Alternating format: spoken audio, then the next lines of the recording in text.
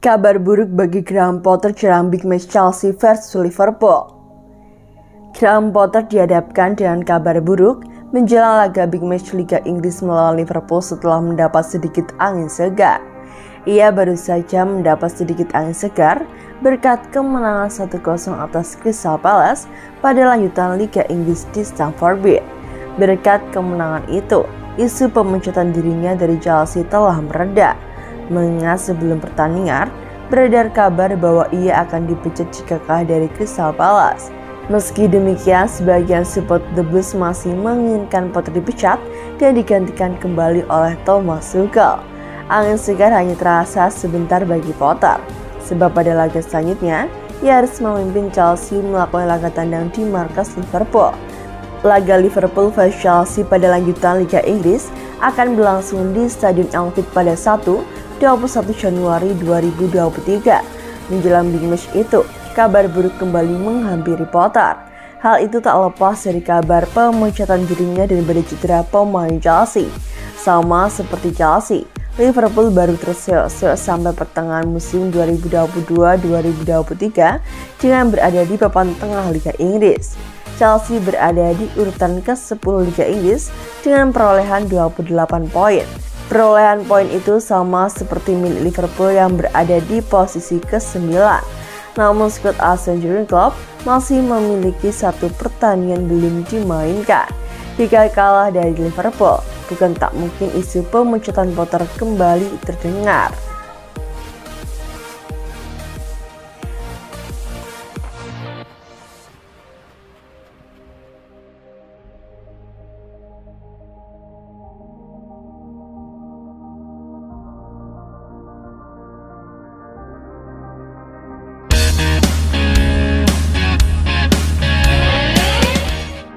Callum Wilson-Odoi menjadi korban kedatangan Michael Murdy di Chelsea. Callum Wilson-Odoi dikabarkan bisa pergi dengan biaya murah musim panas ini, mengingat kontraknya di Stamford akan berakhir pada Juni 2024. Pemain itu sangat sulit mendapatkan peluang dalam beberapa musim terakhir di tengah padatnya serangan tim The Blues dan dipinjamkan ke klub Bundesliga Bayer Leverkusen untuk musim 2022-2023. Ia semakin terpuruk dalam urutan kekuasaan di skuad Graham Potter setelah perekrutan Michael Murdy dengan The Athletic. Dengan The Athletic mengabarkan bahwa lulusan Akademi Chelsea itu akan membuat keputusan tentang masa depannya musim panas ini. Laporan itu juga menyatakan keputusan pemain sayap itu akan mempertimbangkan apakah penyerang pinjaman Joe Felix akan pindah permanen ke Stamford Bridge pada musim panas. Sejak melakukan debut di tim utama Dobis pada 2018, Wilson Odoi tak pernah menjadi starter lebih dari 11 pertandingan di Premier League dikarenakan ia mencapai rekor itu musim lalu di bawah asuhan Thomas Tuchel. Ia telah tampil 15 kali termasuk 11 sebagai starter di semua kompetisi musim ini setelah pindah ke Bayer Leverkusen untuk mendapatkan waktu bermain yang lebih reguler dan jika ia tidak menyetujui perpanjangan kontrak dengan Chelsea selama musim panas, dia akan dapat mulai berbicara dengan klub mana pun pada Januari 2024.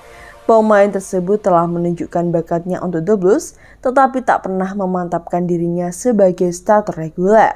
Keserbagunaannya juga terkadang membuatnya digunakan sebagai back sayap daripada peran yang disukainya sebagai wingers.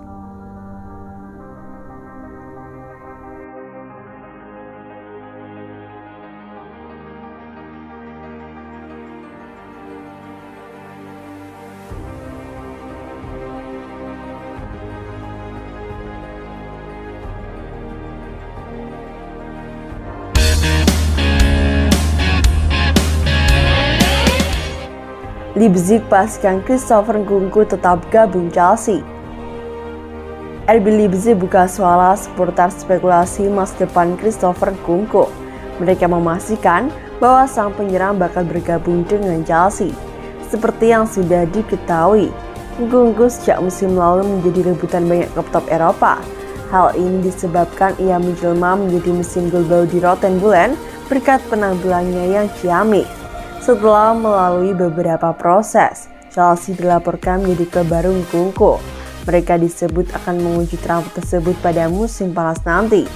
Baru-baru ini pihak Leipzig yang diwakili direktur mereka mengonfirmasi kabar yang beredar itu. Ia menyebut bahwa Engkungku akan tetap bergabung dengan Chelsea musim panas ini. Saya rasa tanda-tandanya sudah jelas bahwa dia akan pindah ke Chelsea. Ujarnya, paket transfer Eropa Fabrizio Romano juga ikut mengonfirmasi bahwa tak ada perubahan dalam rencana masa depan Engkungku. Ia menyebut bahwa semua dokumen Kunggu ke Chelsea sudah kelar, baik dengan pihak klub maupun dengan sang pemain, sang pemain sudah mencapai kata sepakatnya. Itulah mengapa Kunggu tetap akan menjadi bagian dari The Blues dan ia akan menuntaskan kepindahannya musim panas nanti.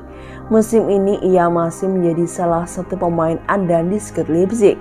Sang penyerang tercatat mampu membuat 17 gol dari total 23 pertandingan bagi di Rotten pada musim ini.